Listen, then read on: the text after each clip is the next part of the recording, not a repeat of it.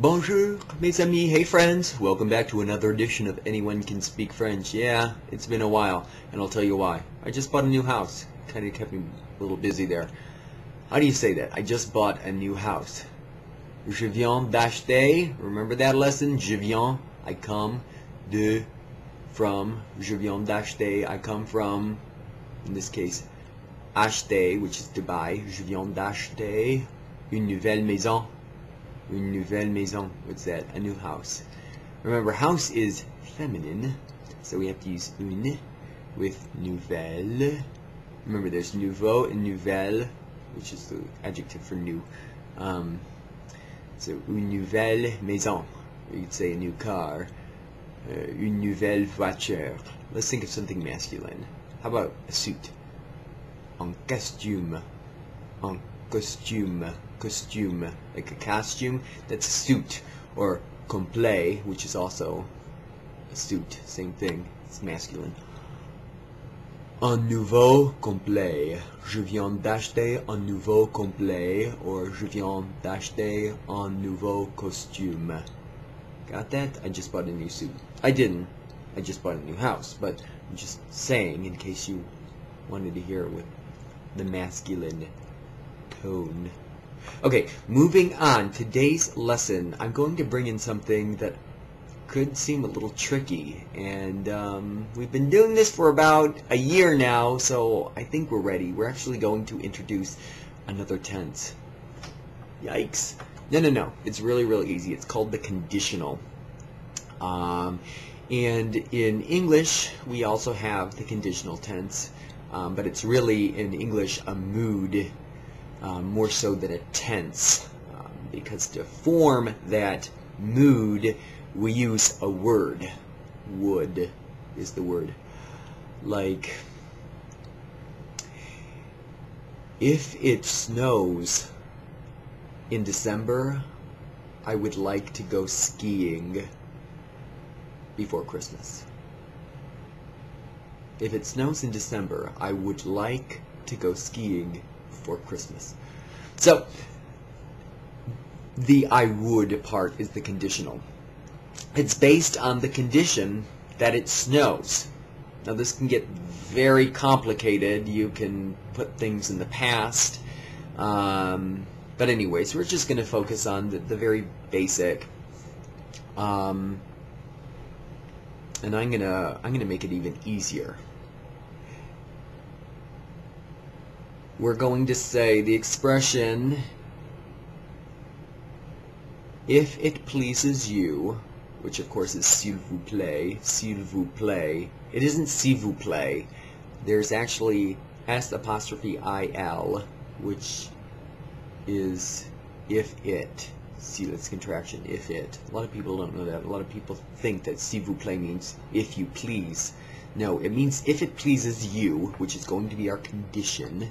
If it pleases you, I would like some coffee. Very easy. We all need some coffee, right? S'il vous plaît, je voudrais un peu du café. S'il vous plaît, je voudrais un peu du café. If it pleases you, I would like a little bit of the coffee. Pretty easy, right? S'il vous plaît, je voudrais de l'eau. If it pleases you, I would like some water. Voudrais is the verb vouloir in the conditional tense. It's very polite. The conditional tense is also known as the polite tense. Um, and this is a perfect example. Uh, starting with the condition, if it pleases you. S'il vous plaît, je voudrais une nouvelle voiture. if it pleases you, I would like a new car, is what I just said. So, that's just some very basic exposure. I think in the next couple of lessons, we're actually going to expand on this, but I just wanted to throw it out there. Um, how is it made? Well, we picked uh, vouloir, which is irregular to begin with.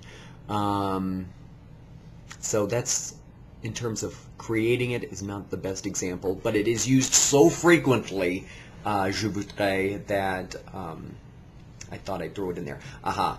We can just as easily use the verb aimer, which is to like. And we would say, j'aimerais, s'il vous plaît, j'aimerais une nouvelle voiture. J'aimerais is literally I would like. Je voudrais is literally I would want. It means the same thing as I would like. You can use them interchangeably. I use the verb aimer to explain how to build this tense in the first person singular. Basically, you just start with the infinitive, aimer, and you add the sound a at the end of it in this case, aimerais, j'aimerais une nouvelle voiture, une nouvelle maison, un nouveau costume. S'il vous plaît, j'aimerais un nouveau costume. I would like a new suit. Pretty cool, right? So you see how it's built. Now, of course, we just built it in the first person singular, but that's because that's the one that you're going to be using the most. And really, um, at first, the only time you're going to be using this tense is when you're trying to express, express a sense of politeness for wanting something. You could go to the post office and say, S'il vous plaît, j'aimerais des timbres. I would like some stamps. Um, and then at a restaurant, ah, monsieur, s'il vous plaît, je voudrais un verre d'eau. Un verre d'eau. I would like a glass of water. See, it's so polite. Instead of just saying, Monsieur, je veux un verre d'eau. I want a glass of water. That's so rude, you know? So you just say, je voudrais. It's so much more polite. J'aimerais un verre d'eau. J'aimerais le filet mignon. I would like the filet mignon. Or Okay, you're at like a more casual restaurant, like a TGI Fridays.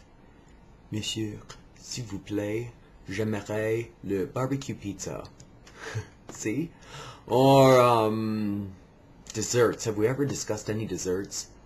Ah, s'il vous plaît, j'aimerais un peu de crème glace. Crème glace? What the heck is crème glace? It's ice cream crème glace. Glace is ice, and crème is cream. So, cream ice.